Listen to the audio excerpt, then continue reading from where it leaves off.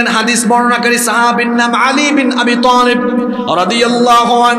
তিনি বলছেন, রাসূল করিম সাল্লাল্লাহু আলাইহি ওয়াসাল্লাম বলেছেন ইদা ফাআলাত উম্মতি 15 খসলাতান হাল্লা বিহাল বালা আল্লাহ নবী বলেছেন, যখন আমার উম্মত পনেরোটি কুকর্মে জড়িয়ে পড়বে, আমার উম্মত যখন পনেরোটি পাপ করবে, তখন আমার উম্মতের উপরে গজব আরম্ভ হয়ে যাবে। সাহাবিরা এই কথা শুনে জিজ্ঞেস করলেন ফাকিলা ওয়ামা হুন্না ইয়া সবাই পড়েন সাল্লাল্লাহু আলাইহি ওয়াসাল্লাম গো আল্লাহর রাসূল। সেই গুনাহগুলো কি? পাপগুলো কি? যেই পাপগুলো করলে উম্মতের উপরে গজব আসবে। নবীজি এবার একটা একটা করে বললেন। এক নম্বরে নবীজি বললেন, ইদা কানাল মাগনামু দুয়ালা রাষ্ট্রের সম্পদ যখন নিজের সম্পদ মনে করে লুটপাট আরম্ভ হবে, তখন ওই জাতির উপরে গজব আসবে। রাষ্ট্রীয় ক্ষমতা পেয়ে রাষ্ট্রের সম্পদকে নিজের বাপ দাদার সম্পদ মনে করে খাওয়া আরম্ভ করবে। রাষ্ট্রের সম্পদ নিজের সম্পদ মনে করে। জনগণের পয়সা রাষ্ট্রের পয়সা দিয়ে নিজের দশতলা বাড়ি বানাবে, নিজের সন্তানকে বিদেশে পাঠাবে, বেগম পাড়ায় বাড়ি করবে কানাডা আমেরিকায় বাড়ি করবে। রাষ্ট্রের সম্পদ নিজের সম্পদের মতো ব্যবহার করে।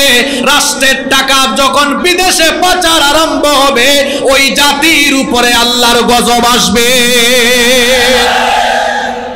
রাষ্ট্রের সম্পদকে তার বাপের সম্পদ মনে করে লুটপাট করে দেশের টাকা বিদেশে পাঠায়। দেশের টাকা, জনগণের টাকা লুটপাট করে বেগম পাড়ায় পাঠায়। এমন মানুষ তো দুনিয়াতে এখন নাই।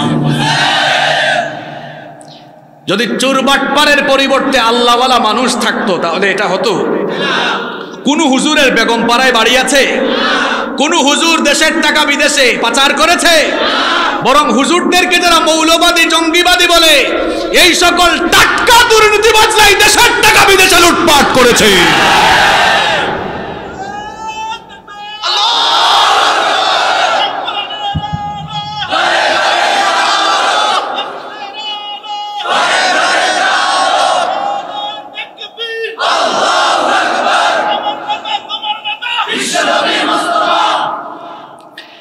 Number point. মনে থাকবে তো?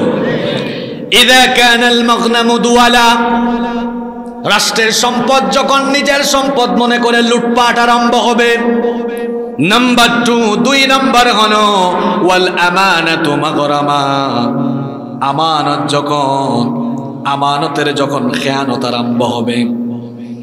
আমানতের খেয়ানত যখন শুরু হবে, তখন ওই জাতির উপরে গজব আসবে। নবীজি একদিন সাহাবিদেরকে বললেন, ইদা দুইয়াতিল আমানাতি ফান্তাজির সাহাবিরা, শোনো, যখন আমানতের খেয়ানত আরম্ভ হবে, তখন কিয়ামত এসে যাবে।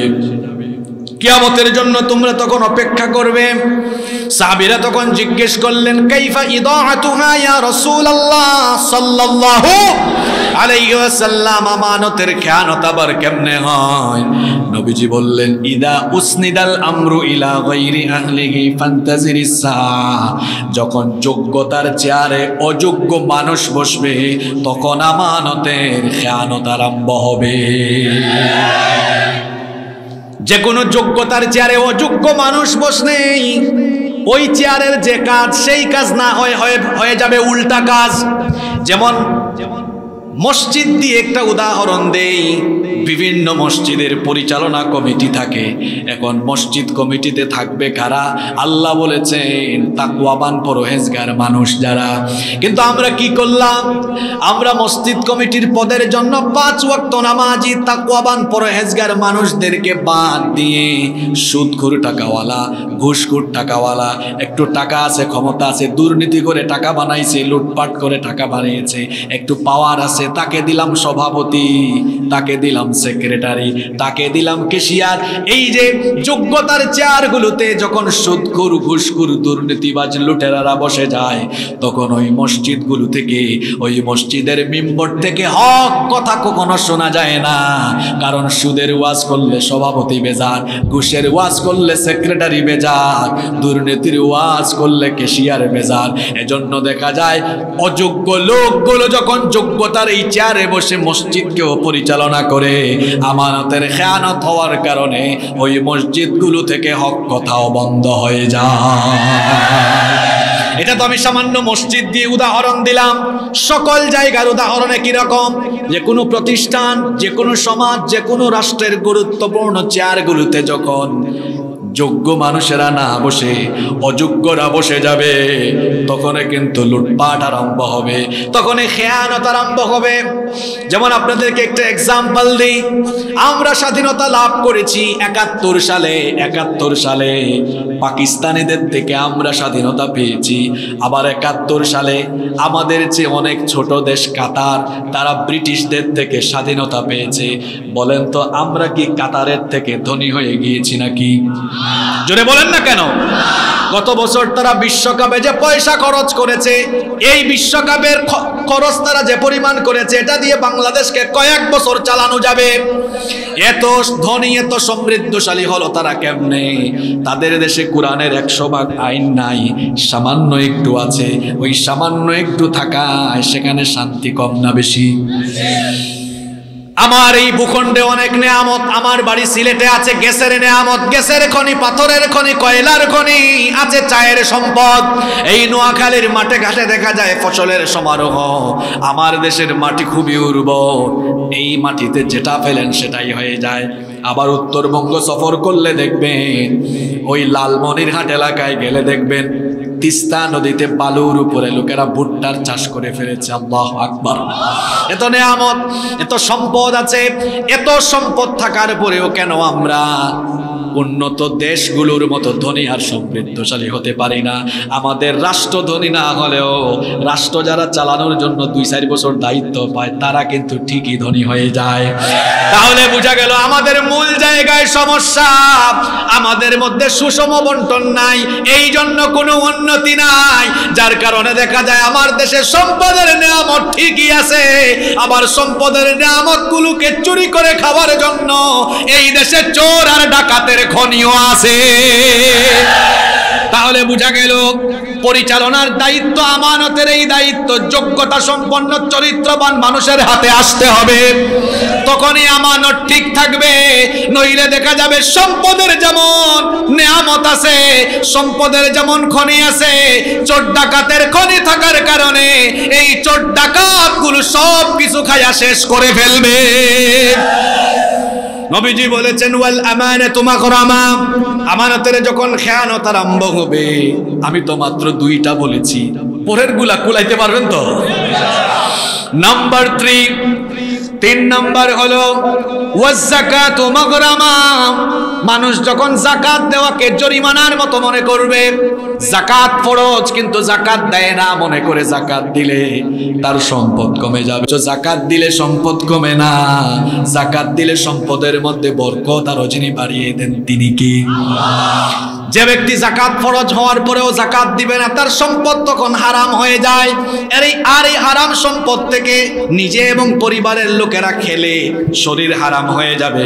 হারাম শরীরের কোনো ইবাদত আল্লাহর কাছে কবুল হয়? ইবাদত কবুলের বড় শর্ত হলো, প্রধানতম শর্ত হলো, ইবাদত কবুলের শর্ত হলো হালাল রিজিক খাওয়া, হালাল খাওয়া। হালাল যদি না খান, তাহলে কোনো এবাদত নামাজ, রোজা, হজ সহ কোনো এবাদত আল্লাহ কবুল করবেন? লোকেরা যখন জাকাতকে জরিমানার মতো মনে করে জাকাত দিবে না, ওই জাতির উপরে গজব আসবে।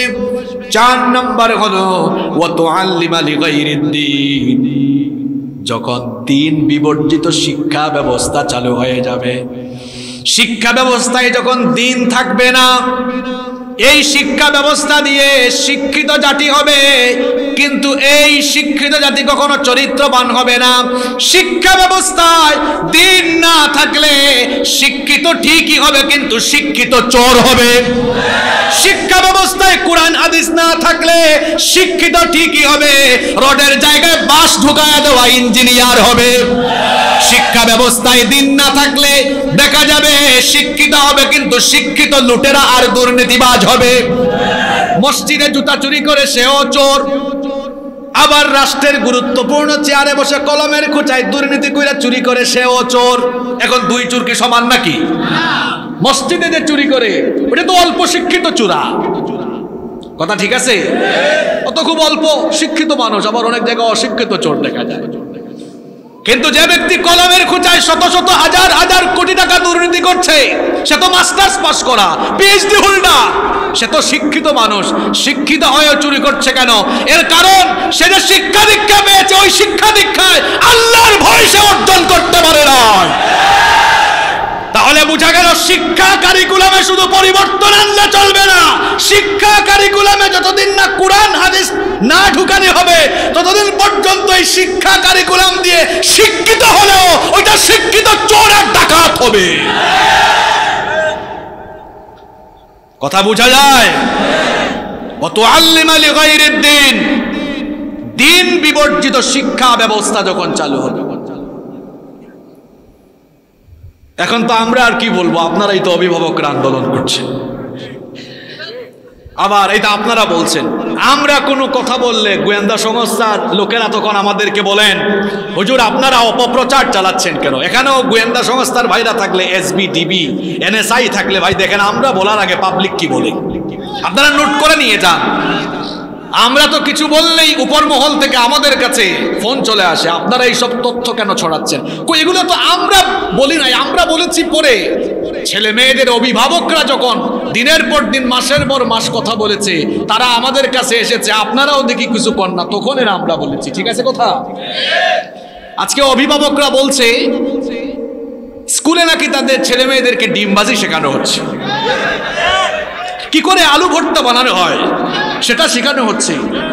তাহলে কি আমাদের ছেলে মেয়েদেরকে আমাদের ছেলে মেয়ের ছেলে মেয়েদেরকে বাবুর্চি আর কাজের বেডি বানানোর জন্য কি আমরা তাদেরকে দায়িত্ব দিয়েছি নাকি?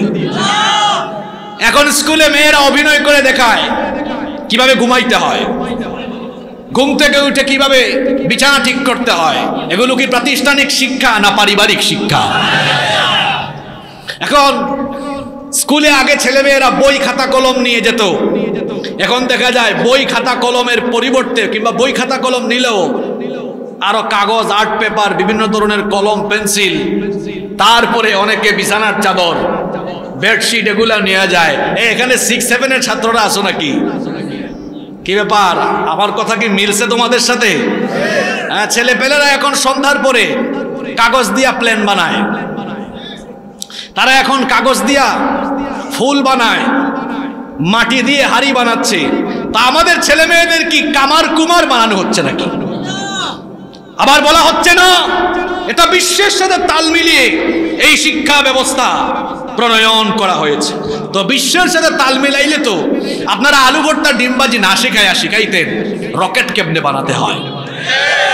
বিমান কেমনে বানাতে হয়? বর্তমান বিশ্বে তারাই ক্ষমতাধর, যাদের কাছে পারমাণবিক অস্ত্র আছে। যদি বিশ্বের সাথে তাল মিলাইতে হয়, তাহলে শিখাতেন রকেট, বিমান, মিসাইল, পারমাণবিক অস্ত্র বা প্রযুক্তিতে কেমনে এগিয়ে যেতে হয়? এইরকম শিক্ষা দীক্ষা দেওয়া হতো। সেটা না করে, ভাই, একটু কথা বলে দাঁড়ান। সেটা না করে আলু ভর্তা, ডিমবাজি শেখানো হচ্ছে। শুধু তাই নয়, বলা হচ্ছে এগুলা নাকি অপপ্রচার। মানলাম আপনাদের কথা, এগুলো অপপ্রচার। তো আপনাদের গার্ডিয়ান ছেলে মেয়েদের বই আপনাদের বাড়িতে আছে না? আমার কাছে তো সিক্স সেভেনের শারীরিক শিক্ষা, স্বাস্থ্য সুরক্ষা বই আছে। আল্লাহ রহমতে আমি এগুলা পড়েছি। আপনারাও পড়ান মাশা আল্লাহ শোনেন তো ভাইজানেরা। আচ্ছা দুই বছর আগে আমার আপনার শরীরের অবস্থা যেমন ছিল বা ফেস যেমন ছিল, তেমন আছে নাকি একটু পরিবর্তন হয়েছে? পরিবর্তন হয়েছে না? আমি যখন নোয়াখালীতে সর্বপ্রথম এসেছিলাম, সম্ভবত দু হাজার ষোলো বা সতেরো, আমি তখন মাস্টার্স শেষের প্রথে, সতেরো তো সম্ভবত। তখন তো আমি আরও চিকন চাকন ছিলাম। তাই না? এখন কি আর সেই অবস্থায় আছে? এখনও মোটা সোটা না, কিন্তু ঠিক আছে তো। পরিবর্তন হয়েছে কিনা? আপনাদেরও পাঁচ, সাত বছর আগের অবস্থা আর এখনকার অবস্থা পরিবর্তন হয়েছে কিনা? যাদের চুলদারি আজকে পেকে গিয়েছে এক সময় তাদের চুলদারি কালো ছিল। তো এই যে বয়সের সাথে সাথে শারীরিক পরিবর্তন হয়, এটা কি প্রাতিষ্ঠানিক পড়ালেখা করে জানতে হয় না অটোমেটিক বোঝা যায়? কথা বলছেন না কেন? আমি যখন ক্লাস টুতে ছিলাম তখন আমার শারীরিক স্ট্রাকচার একরকম ছিল। থ্রিতে ফোরে যখন উঠলাম, আরেক রকম ফাইভে উঠলাম। মানে দিন যত যাচ্ছে, পরিবর্তন। এটা একটা সাত আট বছর নয় দশ বছরের বাচ্চাও বুঝে। আমি বড় হব, আমার হাতের আঙ্গুল বড় হবে। আমি বড় হব, একসময় আমার দাড়ি উঠবে। আমি বড় হব, আমার হাত পাগুলো বড় হবে। এগুলো কি শারীরিক শিক্ষা, ফাইজলামী শিক্ষা, স্বাস্থ্য সুরক্ষার ভেতরে? বয়স অধিকালের আলোচনা এনে পিরিয়ড কেন হবে? পিরিয়ডে কি কি করতে হবে? আমার একটা ছেলের বয়স অন্তিকালে আমাকে মাফ করবেন আপনারা এমন কথা বলার জন্য। আমি অভিভাবকদের কথা বলছি। একটা ছেলের মাঝে মাঝে স্বপ্নদোষ হবে স্পাম বের হবে। এই ছেলে তো তখন বুঝে না, কারণ ছোট্ট ছেলে বাড়িতে গিয়ে আব্বুকে বলে আচ্ছা আব্বু, স্পাম কি? মেয়ে গিয়ে বলছে, আম্মু পিরিয়ড কি? আপনারা কি অভিভাবকদের এই বক্তব্যগুলো সোশ্যাল মিডিয়ায় দেখেছেন কিনা? এক মহিলা বলছেন, আমি তো অবাক, আমার মেয়ে এসে বাড়িতে আমাকে বলছে সিক্স পড়ুয়া মেয়ে ষষ্ঠ শ্রেণীতে পড়ে, আমাকে বলছে, আম্মু পিরিয়ড কি? যদিও আমি আপনাদেরকে ইংরেজিতে বললাম, অনেক মেয়েদের তো আছে সেভেন এইটে গিয়ে স্টার্ট হচ্ছে, অনেক ছেলেরাও গিয়ে আবার জিজ্ঞেস করছে আব্বু আপু, আজকে ক্লাসে আমাদেরকে পিরিয়ড পড়াইছে, এটা আবার কি? কৌতূহল শুরু হয়। একটা বয়সে দেখা যায় নাইন টেনে গেলে তখন ছেলেরা মেয়েরা অটোমেটিক বুঝে বা মেয়েদের যখন শুরু হয়, তার মা তাকে হেল্প করে, বোন তাকে হেল্প করে। এগুলো পারিবারিক শিক্ষা। অনেক বাবারাও, ভাইয়েরাও তাদের ছেলেদেরকে বলেন, কিশোর ছেলেদেরকে শুনো, এই বয়সে অনেক চিন্তা ভাবনা আসে, তোমার এই বয়সে তোমার কেরিয়ারটাকে সুন্দর করা দরকার। এগুলো পরিবারেও সেখানে হয়। আবার বই না থাকলেও আমরা যখন ছোটবেলায় স্কুলে, মাদ্রাসায় পড়ে আসছি, উস্তাদরা ক্লাসের ফাঁকে ফাঁকে এ ধরনের নসিহত আমাদেরকে করতেন কিনা? এখন বইয়ে যখন ঢুকানো হলো এগুলো পড়ছে। আবার দেখবেন দ্বিতীয় অধ্যায় আছে কৈশোরের যত্ন। তৃতীয় অধ্যায় দেওয়া হয়েছে, চলো বন্ধু হই। এই দেখছেন, এখানে শিক্ষক মনে হয় একজন আছেন, মাশাআল্লাহ। মানে আমরা তো, শোনেন, বিষয়টা হলো এমন, আমি ছেলে, তোমার মেয়ের, তুমি একটা মেয়ে, তোমার মধ্যে কি কি পরিবর্তন ঘটছে? আমিও এই পার্ট পড়ে, এই চ্যাপ্টার পড়ে বুঝলাম, তুমিও বুঝছ আমার মধ্যে কি কি হচ্ছে। তো চলো না, আমরা এবার তা আমাদের ছেলে মেয়েদেরকে বন্ধু বানাই, আজকে বন্ধু, কালকে গার্লফ্রেন্ড বানানোর দায়িত্ব আমরা কি শিক্ষা কমিশনকে দিয়েছি? কি অবস্থা? ক্লাস ফাইভের ছেলে কুড়িগ্রাম থেকে তার ক্লাসের বান্ধবী দুইটাকে নিয়ে ভাগাইয়া চলে গেছে কক্সবাজারে। ঠিক আছে কথা? গতকাল দেখলাম নবম শ্রেণির ছাত্রীকে নিয়ে প্রধান শিক্ষক উদাও। এমন এমন চ্যাপ্টার ঢুকানো হয়েছে যে শিক্ষক এই আপনারা ভাইয়েরা বলেন তো যারা ফেসবুক চালান, এই ভিডিওটা দেখছেন কিনা? আমি একটা ভিডিও দেখলাম ফেসবুকে এক স্কুলের মেয়েরা আন্দোলন করছে। ভিডিওতে ক্লিক করলাম যে, কি নিয়ে আন্দোলন? মেয়েরা বলছে, ষষ্ঠ শ্রেণীতে শারীরিক শিক্ষা বই অথবা স্বাস্থ্য সুরক্ষা। কোনো একটা বইয়ের ক্লাস চলছে, কৈশোর বয়সে মানুষের শারীরিক পরিবর্তন আসে, অনুভূতির সৃষ্টি হয়। পড়াতে গিয়ে শিক্ষক ছাত্রীর গায়ে হাত দিয়ে বলছেন, এই যে আমি তোমার গায়ে হাত দিলাম, তোমার কি কোনো ফিলিংস হয়? অনুভূতি হয়? আমার তো মনে হয় নোয়াখালীর মানুষ এই শিক্ষক নামক অসভ্যকে পেলে সেনা স্যান্ডেল দিয়া পিটাইতো। আমাদের ছেলে মেয়েদেরকে এই ধরনের যৌন সুরসুরিমূলক, যৌন উদ্দীপনামূলক যৌন উদ্দীপনামূলক লেসন শিক্ষা ব্যবস্থায় ঢুকিয়ে আমাদের ট্যাক্সের পয়সায় ছাপানো বইয়ে। এই রকম যৌন সুরসুরি যৌন সুরসুরি যৌন উদ্দীপনামূলক পাঠদান থাকবে। আওয়ামী লীগ, বিএনপি জাতীয় পার্টি, দল, মত, ধর্ম, বর্ণ নির্বিশেষে কেউ এটা বরদাস্ত করবে না। অচিরে এই বিতর্কিত শিক্ষা ব্যবস্থা বাতিল করতে হবে। দেশের শীর্ষস্থানীয় আলেমদেরকে পাঠ্যক্রমে এবং সিলেবাস প্রণয়ন অন্তর্ভুক্ত করে আমাদের সন্তানদের জন্য সুন্দর যুগ যুগ যুগ উপযোগী এবং বিজ্ঞানসম্মত কারিকুলাম বাস্তবায়ন করতে হবে। আমরা একটা দলমত নির্বিশেষে সবাই চাই কি চাই না? সন্তানদেরকে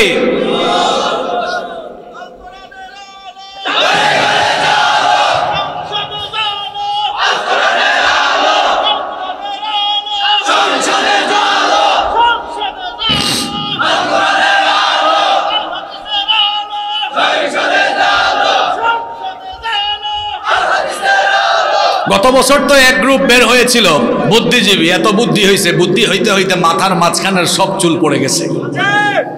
দাড়ি নাই মুস আছে। কয়, বান্দর থেকে নাকি মানুষ হইছে? তো বান্দর থেকে যদি মানুষই হয়, বান্দরের ঘরের বান্দর, তুই মানুষের সমাজে আছিস কেন? তোর উচিত সুন্দর সুন্দরবনে গিয়ে তোর জাতি ভাই বান্দরের সাথে বসবাস করা। তোর মতো বান্দর, মানুষের সমাজে বসবাস করার কোনো হক, কোনো অধিকারী আমরা কি মানুষের জাত না বান্দরের জাত?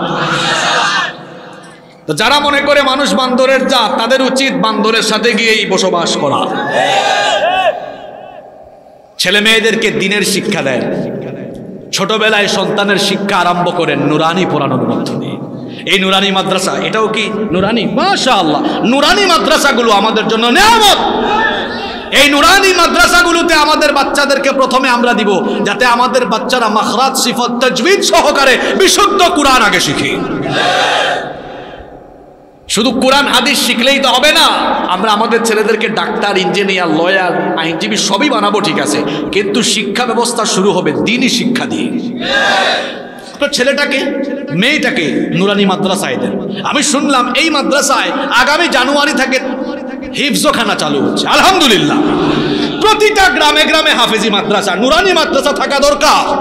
যে গ্রাম বেশি বড়, আয়তনে বড়, এমন কিছু গ্রাম আছে না, ওই সকল গ্রামে তিনটা, চারটা নুরানি মাদ্রাসা, হাফেজি মাদ্রাসা, মক্তব থাকা দরকার।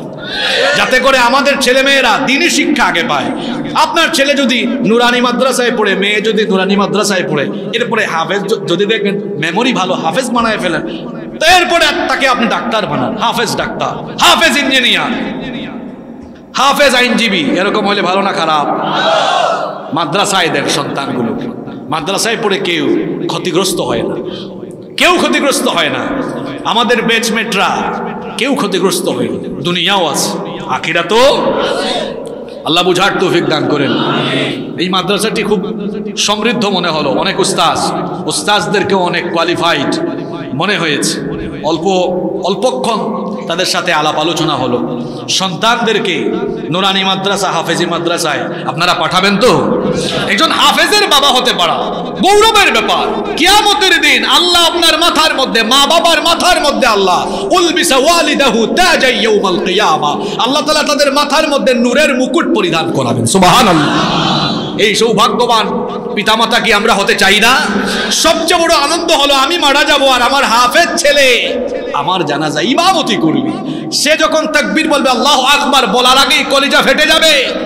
কলিজাটা থরথর করে কেঁপে উঠবে, চক্ষু দিয়ে পানি ছাড়বে, গোটা দুনিয়ার সাগরের পানি দিয়ে জাহান নামের আগুন নেভানো যাবে না। একটা নেককার সন্তান রেখে যান। সে যখন দুই ফুটা চোখের পানি ছাড়বে, ওই দুই ফুটা চোখের পানি দিয়ে আল্লাহ আপনার কবরের জাহান নামের আগুন চিরতরে নিভাইয়া দেবে। সন্তানদেরকে দিনী শিক্ষায় শিক্ষিত করবেন তো? বেন কেমনে লাফায়? দেখলাম মেয়েদেরকে এটা শেখাচ্ছে। প্যাক প্যাক প্যাক প্যাক শেখাচ্ছে। তারপর টিডিং টিডিং সাইকেল চালায়, ফেরিওয়ালা যায়। আগামীতে কি আমাদের বাচ্চাদেরকে ফেরিওয়ালা বানানো হবে নাকি? আপনারা কি রাগ করছেন? তারপরে দেখলাম স্কুলের শিক্ষক, শিক্ষিকারা আজকে দেখলাম কি? গোল নৃত্য নাকি? দেখলাম মানে গোল গোল হয়ে লারে লারেল্লা, লালেলা লালা লালা বলে বলে তারা গান গেছে হ্যাঁ? লারে লাপ্পা। আরে বাপ রে বাপ। আমি কি বানিয়ে কোনো কথা বলেছি? এগুলো তো আমাদের কথা নয়, এগুলো আপনাদের মনের কথা। আমরা কোন জায়গায় ছিলাম মনে আছে তো? যখন আমার উম্মত পনেরোটা কুকর্মে জড়িয়ে পড়বে, গজব দিবেন কি? বলেছেন মোহাম্মদ সাল্লাল্লাহু সামান্য একটি ভূমিকম্প হয়েছে আমরা যদি সবাই সচেতন না হই, দায়িত্বশীল মহল সচেতন না হন, সামনে যে আল্লাহর কোন কোন আসতেছে আমরাও জানি না। নাম্বার ফাইভ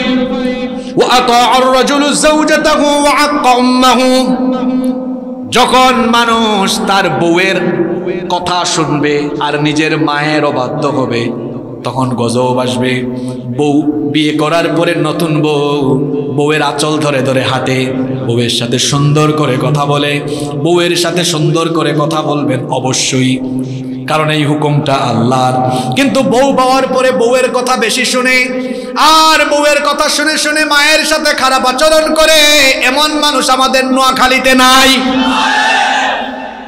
বউয়ের কথা শুনে শুনে মায়ের সাথে খারাপ আচরণ করা। এটা যদি আপনি করেন, মনে রাখবেন আপনার জীবন শেষ হয়ে যাবে। দুঃখ কষ্টে আপনার জীবনটা ভরপুর হয়ে যাবে। আজকে তো মহিলারা প্যান্ডেলে আছেন, মা বোনরা কষ্ট পাবেন না। বিয়ের পরে শাশুড়িকে আপনি কখনো পর মনে করবেন না। সব সময় শাশুড়ির বিরুদ্ধে নিজের হাজবেন্ডের কাছে নালিশ করবেন না। পরিবারটাকে সুন্দর রাখার জন্য পরিবারটাকে সমৃদ্ধ রাখার জন্য আপনি ঘরের বউ হয়ে প্রাণান্তকর প্রচেষ্টা করবেন। শাশুড়িকে আপনি নিজের মায়ের চোখে দেখবেন, সম্মান করবেন। শাশুড়ির নামে হাজবেন্ডের কাছে নালিশ করে শ্বশুর শাশুড়িকে সেপারেট করে দিয়ে তাড়াতাড়ি আলাদা হয়ে যাওয়ার পরিকল্পনা গ্রহণ করিলেন না। কারণ এই আপনার হাজবেন্ডকে আপনি পেয়েছেন তার বাবা মায়ের কারণে। সুতরাং তার বাবা মায়ের বিরুদ্ধে তার কাছে অভিযোগ করিলেন না, আর বউয়ের কান পড়াও শুনিয়েন না। এখন এই ধরনের পরিস্থিতির কারণে বহু সংসার ভেঙে যাচ্ছে, এরকম আছে না নাই? যেন বোনদেরকে বলব, শ্বশুর শাশুড়ির সাথে সুন্দর আচরণ করবেন। শ্বশুর শাশুড়ির নামে হাজবেন্ডের কাছে নালিশ করবেন না। মাঝে মাঝে শাশুড়ি একটু কঠিন কথা বলেও ফেলেছেন। তাও হাজবেন্ডের কাছে বলতে যাবেন না। নিজের মা যদি আপনাকে এরকম কঠিন কথা বলতো, তখন তো আপনি চুপ থাকতেন, কিচ্ছু বলতেন না। সেই রকম ফিলিংস অনুভূতি থেকে মনে করেন যে আমার মায়ের মতোই তো তিনি আমাকে একটা কথা বলতেই পারেন। তাই বলে আমার হাজবেন্ডকে এটা বলে হাজবেন্ডকে রাগায়া দিব না। পরিবারকে সেপারেট করে দিব না। মা বাবাকে যেন আপনার হাজবেন্ড একটু বেশি নজর দেয়, খেদমত করে বরং উল্টা গিয়ে বলে, প্রিয় স্বামী, আজকে বাজার থেকে আসার সময় আব্বা আম্মার জন্য আলাদা করে কিছু ফল মোল আনবেন। ঈদের সময় বলবেন হাজবেন্ডকে আব্বা আম্মার জন্য ভালো কাপড় চোপড়, সুন্দর কাপড় চোপড় কিনবেন কারণ আমরা হায়াতে বেঁচে থাকলে আরও পড়তে পারব। আমাদের উচিত তাদেরকে সম্মান করা। এই রকম আপনি হাজবেন্ডকে আরও উৎসাহিত করবেন যেন মা বাবার খেদমত আরও বেশি করে করে।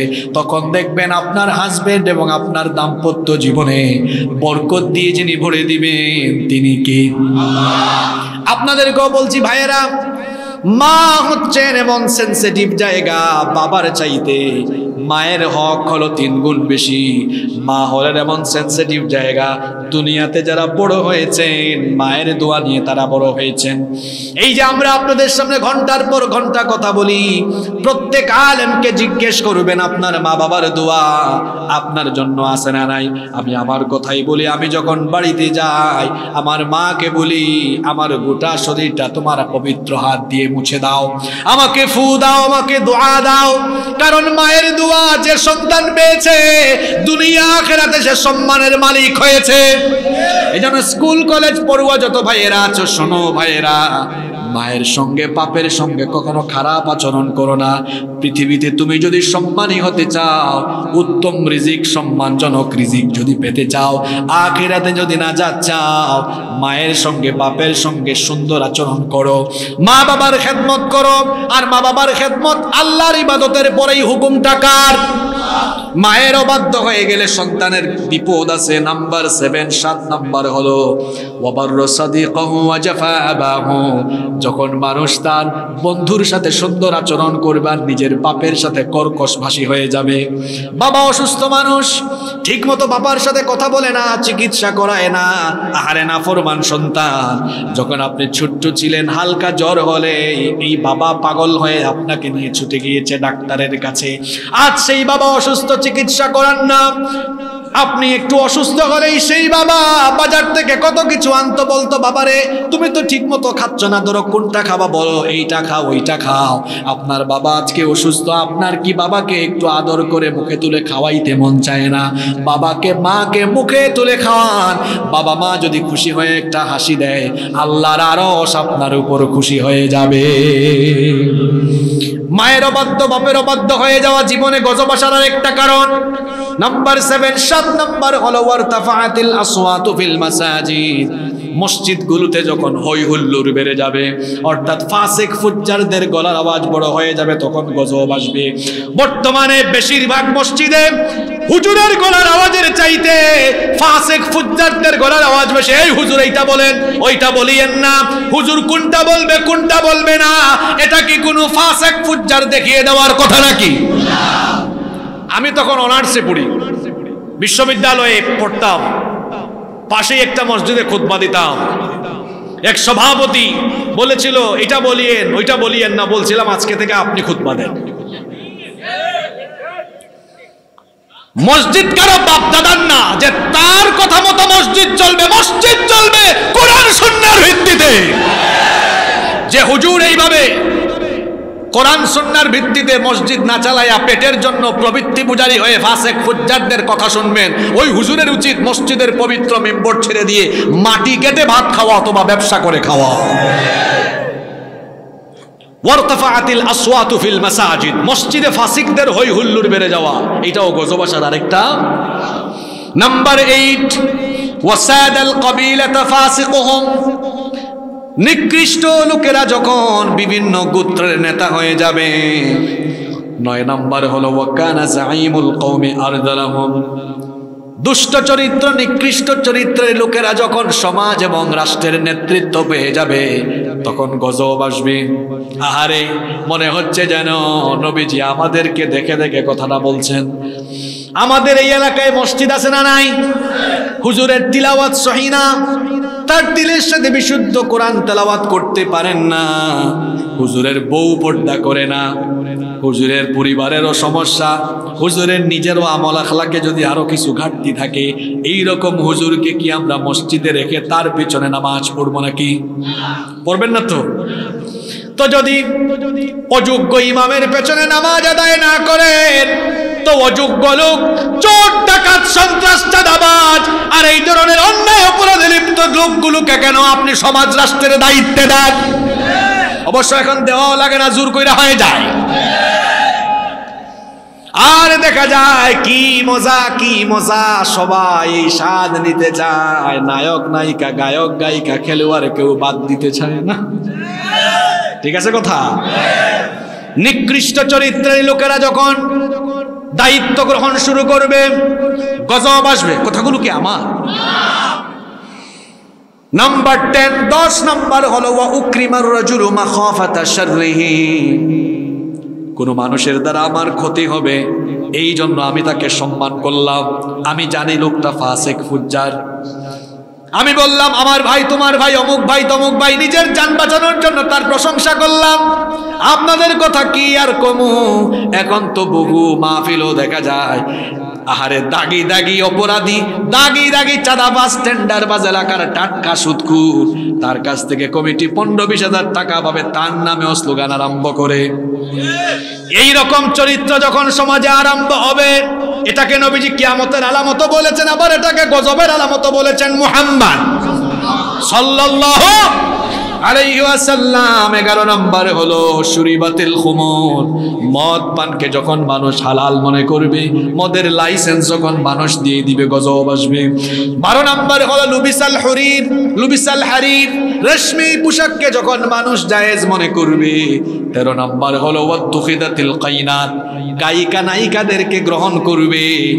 গায়িকা নায়িকাদেরকে অর্থাৎ গায়িকা নায়িকাদের নৃত্য গান এগুলোকে মানুষ সহজে, সহজেই গ্রহণ করবে। মনে করবে এটা কিছুই না। শুধু তাই নয়, ওয়াল বাজিফ চোদ্দ নম্বর হলো বাদ্যযন্ত্র বাজনাকে যখন মানুষ হালকা মনে করবে, জায়েজ মনে করবে, তখন গজব দিবেন কে? এখন তো বাজনা গান, গানের মধ্যে থাকতে থাকতে ওয়াজের মধ্যে বাজনা ঢুকে গেছে। কথা বললে তো ইউটিউবার ভাইরাও রাগ করবে।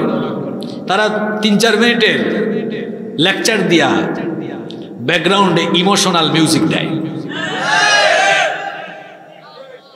ভিডিওর নিচে লেখে দেয়, জীবন পরিবর্তনের কিছু মোটিভেশনাল কথা শুনুন। আমার কথা কি রাগ করছেন আপনারা? বাজনা দিয়ে কি ইমোশন হয়? কোরআনের চাইতে বড় মোটিভেশন আর কোথায় আছে? যেখানে কোরআনই আছে, লা আছে না? বলা হয়েছে, ওয়ালা তাখাফু, ওয়ালা তাহজানু। বিভিন্ন ফরম্যাটে আলোচনা এসেছে। কোরআনের চেয়ে বড় মোটিভেশন আর কোথায় আছে? পিছনে যদি একটা ব্যাকগ্রাউন্ড দেয়া ব্যাকগ্রাউন্ডে যদি একটা মিউজিক দিলেই যায়, তো কোরআন কেন? এটা করা উচিত নয়। যারা ঠিক কইছেন, তারাও আবার এইসব ভিডিও শেয়ার মারেন। টিকটকে ফেসবুকে ইউটিউবে এমন অসংখ্য ভিডিও ওয়াজের ভিডিও আমরা দেখেছি, আমি দেখেছি, আমারও বেশ কিছু বক্তব্যকে। অনেক ইউটিউবাররা কাটিং করে। খণ্ডিত অংশ, তিন চার মিনিটের ব্যাকগ্রাউন্ডে ইমোশনাল মিউজিক দিয়েছে। মিউজিকটা খুব হালকা পাতলা।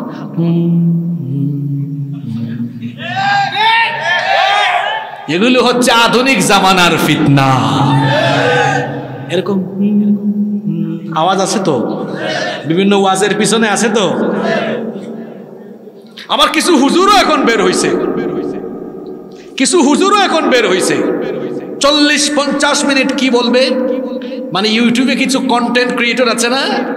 এইরকম করে কিছু হুজুর বের হইছে। চল্লিশ পঞ্চাশ মিনিটের জন্য সেও তার কন্টেন্ট রেডি করার জন্য চার পাঁচটা টপিক নিয়ে আসে। ক্যামেরাম্যানও নিয়ে আসে। এরপর এগুলাকে এরকম ইমোশনাল ব্যাকগ্রাউন্ড দিয়া দিয়ে দিবা। কেউ কেউ আবার ঘরে বসেও এগুলা করছে। পড়াশোনা করে ময়দানে এসে ইলমি আলোচনা মানুষকে উপহার দেওয়া উচিত। আর আমি ওনাদের দোষ দিই না, কারণ আমার দেশের শ্রোতা যেমন বক্তাও হয়েছে তেমন। এগুলো সব মানুষের দোষ। আপনারা কি আমার কথা রাগ করলেন?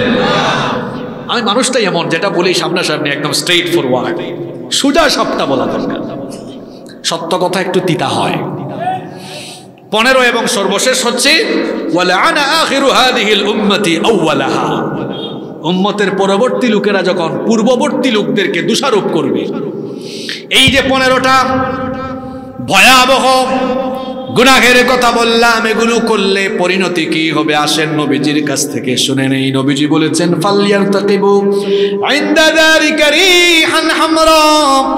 আও খাসফান ওয়া মাসখান। নবীজি বলেছেন, এই পাপগুলো যখন তোমরা করবা অগ্নিবায়ু, ভূমিকম্প এবং চেহারা বিকৃতির গজবের জন্য অপেক্ষা করো। তাহলে বুঝা গেল, যখন মানুষ গুনাহের সাগরে ডুবে থাকবে তখন গজব দিবেন কে? আপনাদের কি কষ্ট হচ্ছে? আর সর্বোচ্চ আঠারো থেকে বিশ মিনিট থাকতে পারবেন তো? আরও তো মজার কিছু কথা রয়ে গেছে। সেগুলো শুনবেন তো আপনারা? কয়টা কারণ বললাম?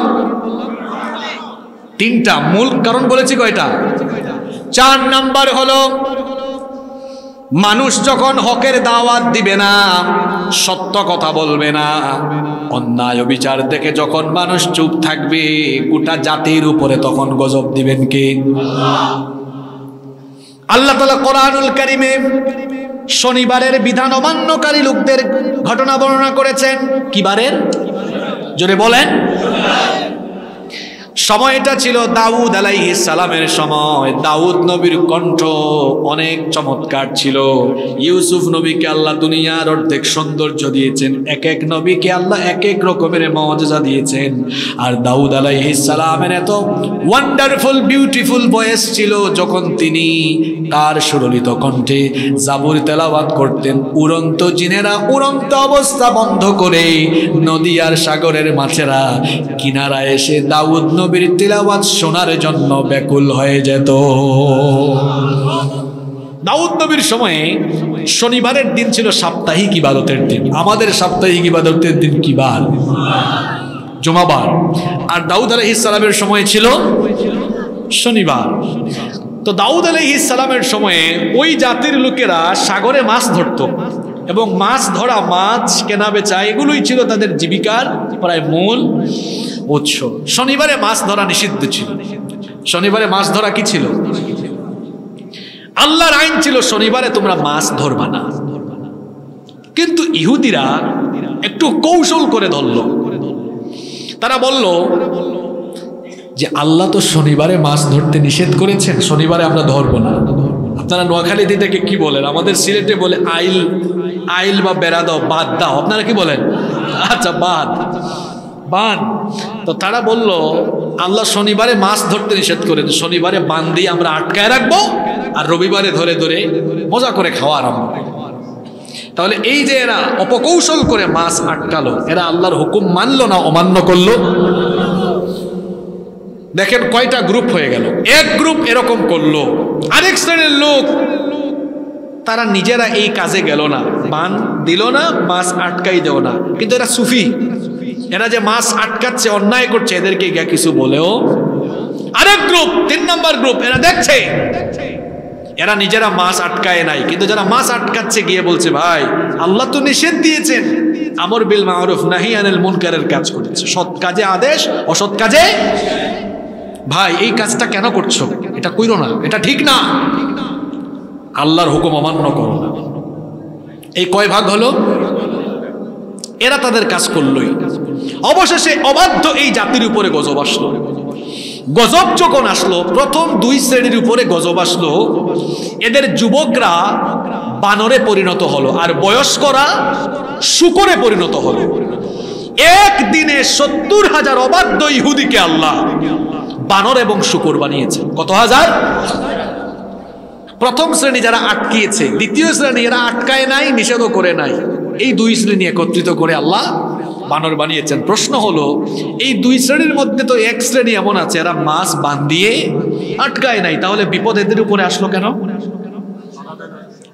এরা নিজেরা অন্যায় করে নাই, কিন্তু অন্যায় দেখে বাধাও তাহলে বুঝা গেল, নিজে অন্যায় না করলে কি হবে? অন্যায় বাধা না দিলে গজব আসে। সুতরাং আপনি ভালো আছেন আপনি অন্যায় করেন না, কিন্তু আপনার আশপাশে সমাজে, রাষ্ট্রে সব জায়গায় অন্যায় চলে, জুলুম চলে, অন্যায় জুলুম চলেও, অন্যায় জুলুম দেখেও, অন্যায় জুলুম দেখার পরেও চুপ করে বসে থাকলে আল্লাহর গজব থেকে আপনার মতো সুফিও রেহাই পাবে না। নবীজি বলেছেন, আস-সাকিতু আনিল হক্কি, ফাহুয়া শাইতানুল আখরাস। সত্য বলা থেকে যে চুপ থাকে, সে হলো বুবা শয়তান। একটা জাহাজে, দুই তলা জাহাজ, উপরের তলায় যাত্রী, নিচের তলায়ও যাত্রী। নিচের তলার কোনো যাত্রী যদি জাহাজ ফুটা করে, ছিদ্র করে দেয়, আর উপরের তলায় কেউ যদি দেখে এটা বাধা না দেয়, জাহাজ ডুবলে কি নিচের তলার তারা ডুববে নাকি সবাই ডুববে? আপনার সমাজে, আপনার আশেপাশে অন্যায় হবে, জুলুম হবে, এটা দেখেও আপনি চুপ থাকবেন, আল্লাহর আজাব থেকে আপনি নিজেকে বাঁচাতে পারবেন না। নাম্বার ফাইভ জিহাদ ফি সাবিলিল্লাহ থেকে মানুষ যখন নিজেকে গুটিয়ে ফেলে, তখন দুনিয়াতে গজব আসে। আমার খুব ছোট্ট একটা ঘটনা, বলতে দুই তিন মিনিট লাগবে, মনে পড়ল, বলব? মোসানবীর নাম সবাই জানি কি জানি না। ঘটনাটা মন দিয়ে শোনেন।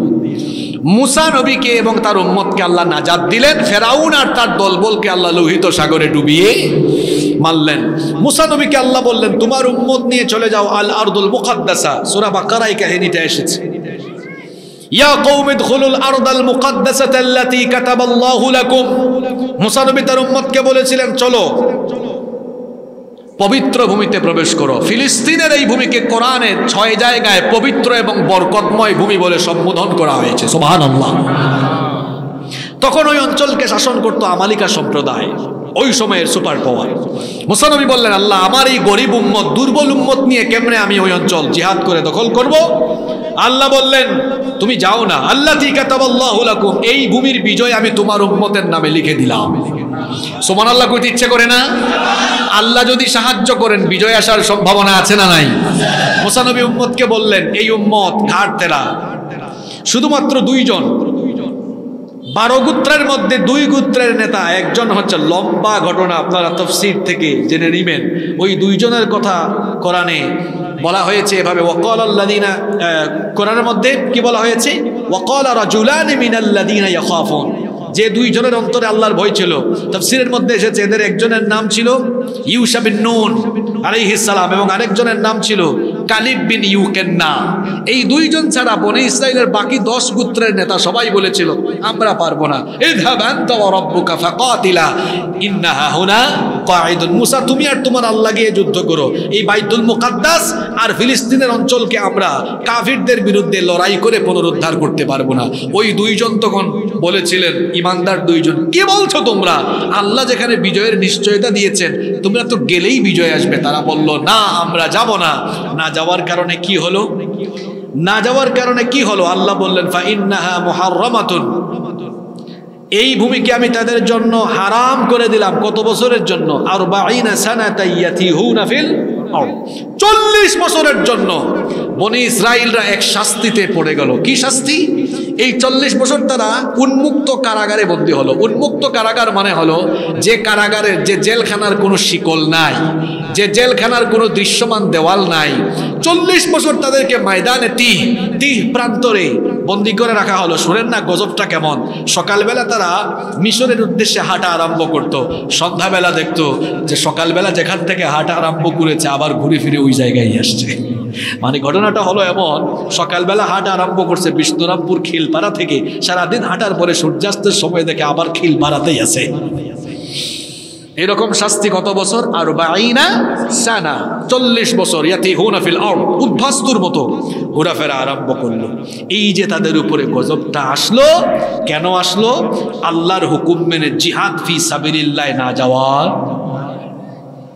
আজ গোটা দুনিয়ায় মানুষের তৈরি করা মতবাদ চলছে।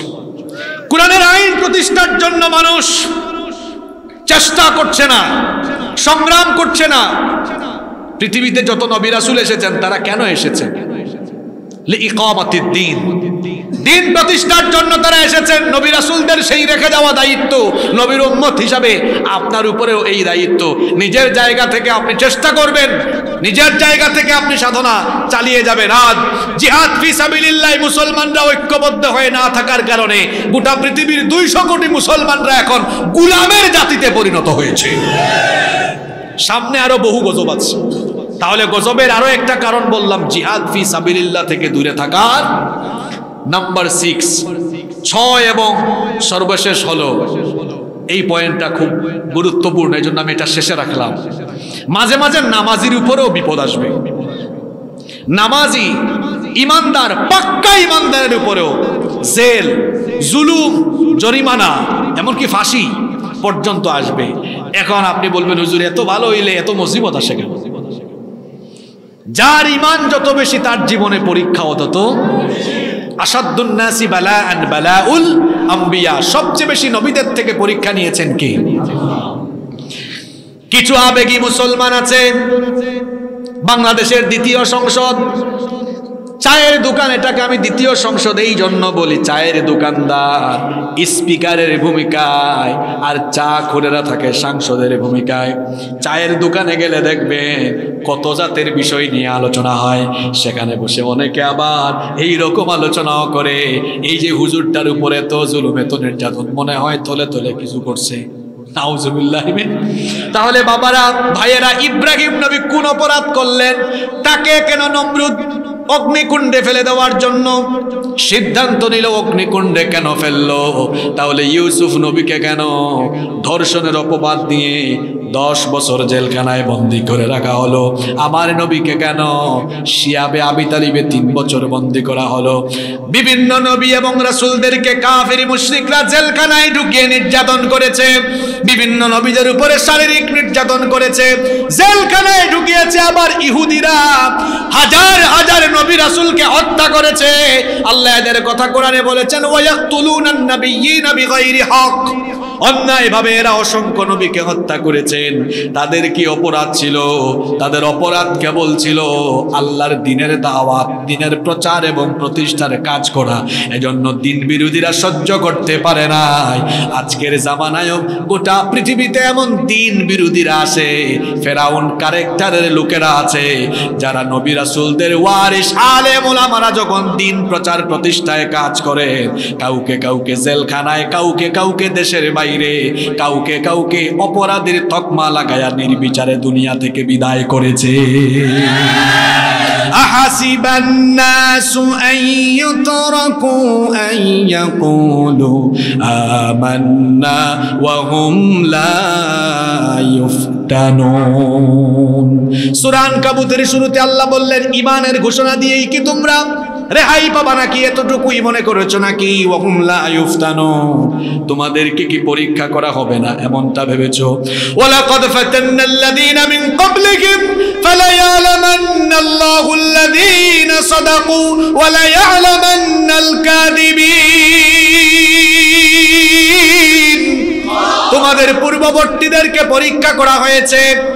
যাতে করে আল্লাহ দেখে নিতে পারেন তোমাদের মধ্যে কারা ইমানের দাবিতে সত্যবাদী আর কারা ইমানের দাবিতে মিথ্যাবাদী।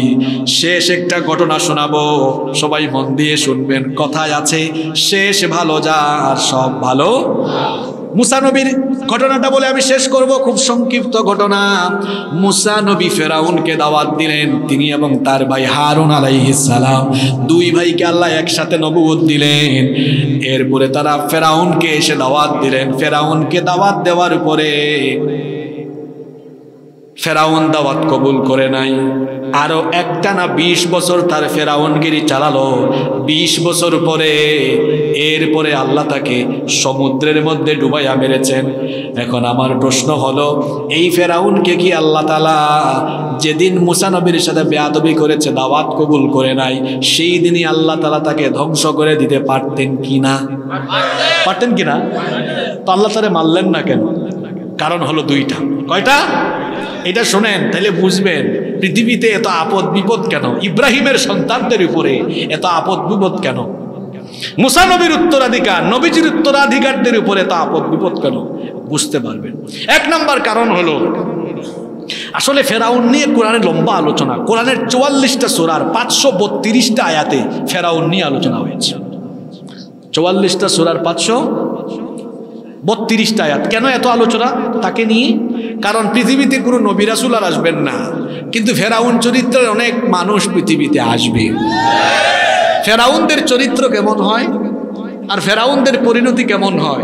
আর ফেরাউনদের মোকাবেলা ইমানদাররা কেমন থাকা উচিত? এই আলোচনাগুলো কোরআনে আল্লাহ এজন্য করেছেন যাতে ইমানদারেরা ইমানের দাবিতে ঠিক থাকে আর ফেরাউনরা যেন ফেরাউনি পরিণতির কি হয় সেটাও যেন জানতে পারে। বিশ বছর বিশ বছর। ফেরাউনগিরি করেছে। আল্লাহ দুইটা কারণে তাকে শুরুতেই সাইজ করেন নাই। এক নম্বর কারণ, ইমানদারের সামনে যদি ফেরাউনি ক্যারেক্টার না থাকে, তো এই ইমানদারের ইমান কি আসলেই জাতের ইমান? নাকি ইমানের বিরুদ্ধে, ইমানের ভেতরে আছে নিফাক? এটা বোঝা যাবে কেমনে?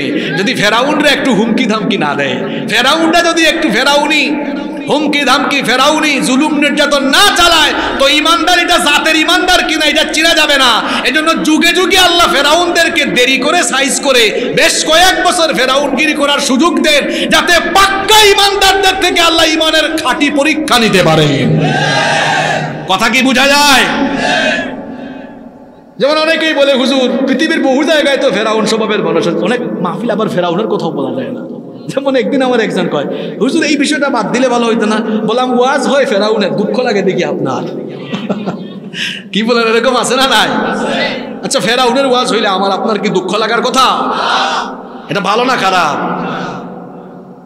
একটা কারণ বললাম, ইমানদাররা যাতে পাক্কা ইমানের পরীক্ষা দিতে পারে ফেরাউনদের সঙ্গে এই জন্য আল্লাহ সাথে সাথে ফেরাউনদেরকে সাইজ করেন দুই নম্বর কারণ হলো, আল্লাহ তালার দয়া কম না বেশি। আল্লাহ কোনো মানুষকে সাইজ করার আগে সুযোগ দেন। ফেরাউনকে আল্লাহ সুযোগ দিয়েছেন। এখানে আলেমরা বসে আছেন। অনেক সুযোগ পেয়েছে ফেরাউন। যেমন সে ধ্বংস হওয়ার আগে, সমুদ্রে ডুবে মারা যাওয়ার আগে তার জাতির উপরে তুফানের গজব। তুফানের গজব, ব্যাঙের গজব, উকুনের গজব, রক্তের গজব, পঙ্গপালের গজব, মহামারীর গজব। এইরকম এক টানা ষাটটা গজব এসেছে। ধাপে ধাপে ধাপে ধাপে। যাতে করে ফেরাউন ঠিক হয়। কিন্তু না, ফেরাউন ঠিক হয় না। যখনই কোনো বিপদে পড়ে মুসানবীকে দাওয়াত দেয়। দাওয়াত দিয়ে বলে, মুসা, তুমি দোয়া করো আল্লাহর কাছে। আল্লাহ যেন বিপদটা উঠান, উঠাইলে আমি ভালো হয়ে যাব। আর ফেরাউনগিরি করব না। আল্লাহ উঠান, বিপদ, আবার তার ফেরাউনি। যেই লাউ, সেই সুযোগ দিতে দিতে দিতে দিতে দিতে দিতে ঠিক হয় না। ইমানদারদেরকে আল্লাহ পরীক্ষা নিলেন। আর ফেরাউনকেও ফেরাউনগিরি করতে দিলেন। পৃথিবীর কোন ফেরাউনি চরিত্রের মানুষের শেষ বিদায় ভালো হয় না। শেষ বিদায়টা ভালো হয় না। ফেরাউন কেমনে মরল? পানির অপর নাম জীবন। তার জন্য হয়েছে অপর নাম আল্লাহ কাউকে শেষ করতে হলে কোনো অস্ত্র শস্ত্র লাগে না। স্পেশাল ফোর্স আপনার চারপাশে থাকলেও বাঁচতে পারবেন না, যখন আল্লাহর গজব আসবে। ফেরাউন টিকেছে? পৃথিবীতে কোনো ফেরাউনি চরিত্র টিকে থাকবে? পৃথিবীতে কেউ স্থায়ী হয় না। হোক না সে ফেরাউন কি বানমরুদ কেউ ভবে চিরদিন রয় না। কেউ ভবে চিরদিন রয় না। কেউ থাকবে? তারপরে আসুন, নমরুদ ইব্রাহিম নবী কি? অগ্নিকুণ্ডে ফেলল। জিব্রিল এসে বললেন, ইয়া আল্লাহর খালিল, আপনাকে তো এখন আগুনে ফেলে দিবে। আমাকে একটু পারমিশন দেন, আমার ডানা দিয়া এই আগুনকে একটু বাতাস করে সমুদ্রে ফেলায় দেই। ইব্রাহিম নবী বললেন, তোমাকে কি আল্লাহ পাঠাইছেন? কয়, না। বললেন, তোমার সাহায্যের দরকার নাই। হাসবি আল্লাহ আমাল ওয়াকিল, আমার জন্য যথেষ্ট কে? আমাদের জাতির পিতা কে? জোর করে জাতির পিতা হয়েছে জাতির পিতা বানিয়েছেন কি? আমরা তো ইব্রাহিমের সন্তান। ইব্রাহিম আলাইহিসসালামকে আগুনের ভয় দেখায়ও নমরুদ মাথা নোয়াতে পারে নাই। ইব্রাহিমের সন্তানরাও ইমানি আন্দোলনের জন্য কোন লোভ লালসা, কোন হুমকি ধামকি কোন জুলুম নির্যাতনের তুয়াক্কা না করে সিংহ শাবকের মতো, ইব্রাহিম আলাইহিসসালামের মতো, ইব্রাহিমের সন্তানরাও মাথা উঁচু করে থাকবে, বাতিলের সামনে মাথা নোয়াবে না।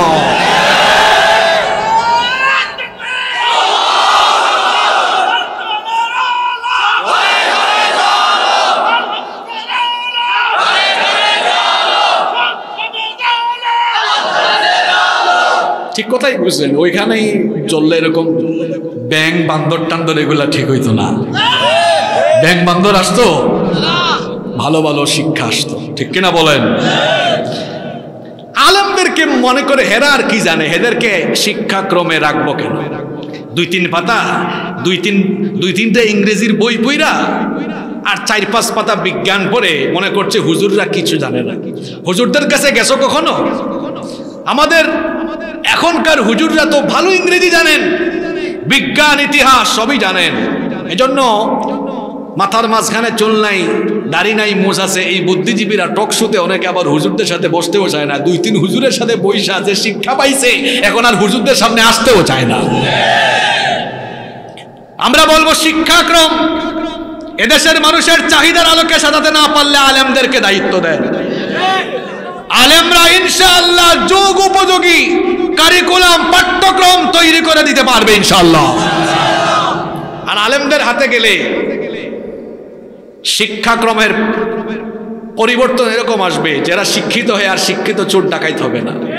এখানে কবি পড়ুয়া, আলিয়া পড়ুয়া অনেক আলেমরা আছেন, জিজ্ঞেস করেন হুজুরা তাকুয়া শিখায়? হ্যাঁ? নিচের ক্লাসগুলো থেকেই তাকুয়া শিখায়। যে তোমার মধ্যে যেন তাকুয়া থাকে, পরহেজগারিতা থাকে তাকুয়া থাকলে সরকারি চাকরি করলে দেখা যাবে ঘুষ ছাড়াই ফাইল এই টেবিল থেকে ওই টেবিলে দিয়ে দিবে। কারণ সে ঘুষ খাবে না। সে দেখবে এটা তো আমার জন্য অন্যায়। সরকারি চাকরি যদি কেউ সততার সাথে করে, তো পয়সাওয়ালা হওয়া বহুত টাফ ব্যাপার এটা। কারণ সবচেয়ে বেশি বেতন পান মহামান্য রাষ্ট্রপতি। ওনার বেতন এক লক্ষ বিশ হাজার টাকা। তাইলে প্রজাতন্ত্রের বাদ বাকি কর্মচারীর বেতনের চেয়ে বেশি না কম?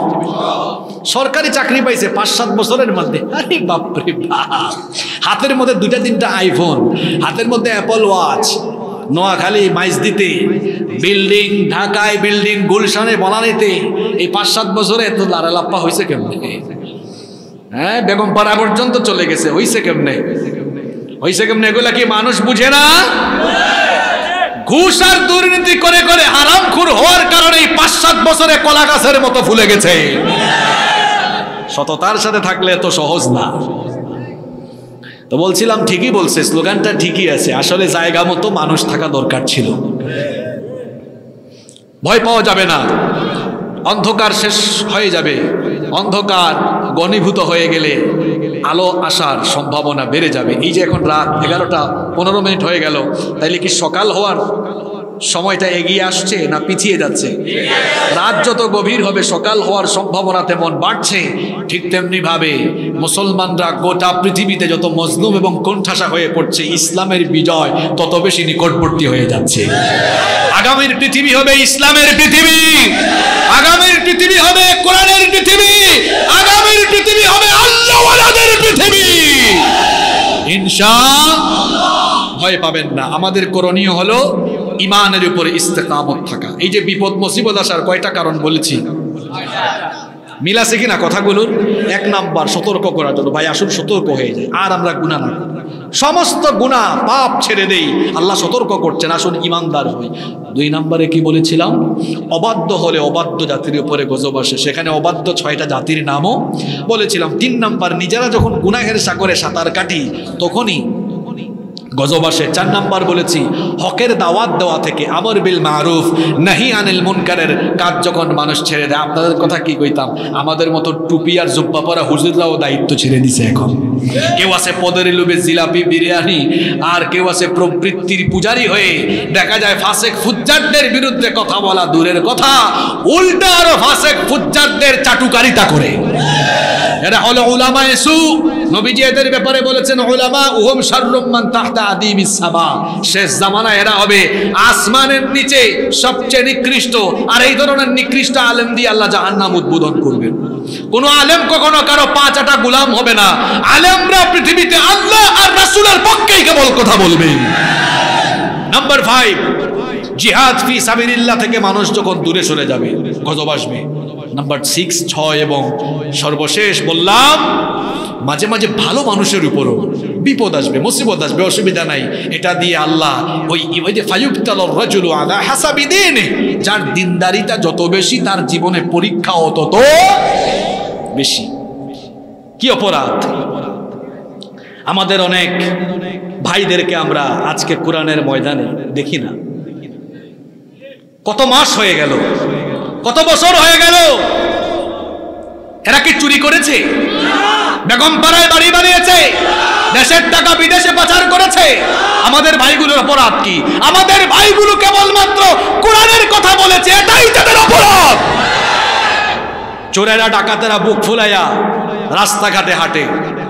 আর কোরআন সন্ন্যার কথা বলে অন্ধকারে পড়ে আছে।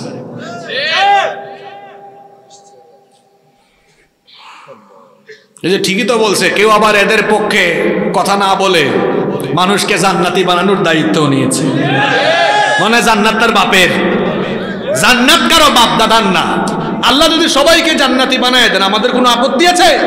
জান্নাত জাহান্নামের ফয়সালাকারী কে? আল্লাহ। এখানে আমাদের কোনো ইখতিয়ার? আমরা বলতে পারি, আল্লাহ, আপনি আমার ভাইকে জান্নাতি বানায় দেন। আমার এই ভাইদেরকে, বোনদেরকে সবাইকে জান্নাতি বানায় দেন। আমরা চাইতে পারি, দোয়া করতে পারি, কিন্তু জান্নাতে ঠিকাদারে নিতে পারি না। কারণ আমার নিজের ঠিকানা কি হবে আমি নিজেই তো জানি না। এজন্য তো নবীজি দোয়া শিখিয়েছেন, দোয়া করো, আল্লাহুম্মা ইন্নী আসআলুকা রিদাকা ওয়াল জান্নাহ, আল্লাহুম্মা হাসিবনি হিসাবাই। দোয়া করতে হবে। আসুন, নিজেদের ইমানকে সংশোধন করি। ইমানের পথে চলি তাহলে বালা মুসিবত থেকে আমরা বাঁচতে পারব। কোরআনের পথে চলে, কোরআনের রঙে রঙিন হতে পারলেই শান্তি, মুক্তি পাওয়া যাবে। শুধুমাত্র কোরআনের পথ গ্রহণ করাই হবে মুক্তির একমাত্র পথ। এজন্য নিজেদের সন্তানগুলোর ব্যাপারে যত্নবান হন। আজকে যে কঠিন সময় এসেছে, সন্তানগুলোকে কোরআনের শিক্ষা দিন। আজকে ডিসেম্বর মাস চলছে এখন। এই ডিসেম্বর মাসে অভিভাবকরা সিদ্ধান্ত নেন বাচ্চাদেরকে কোথায় পড়াবেন। আমি ফিনিশিংয়ে সর্বশেষ যে কথাটি বলতে চাই, বাচ্চার জন্য উত্তম প্রতিষ্ঠান সিলেক্ট করবেন। যেই প্রতিষ্ঠানে আপনার বাচ্চা দিন শিখবে, যেই প্রতিষ্ঠানে আপনার বাচ্চা আখেরাতের চিন্তা মাথায় ঢুকাবে যেই কারিকুলামে পড়লে সেই কারিকুলামের সন্তানকে পড়াবে ইনশা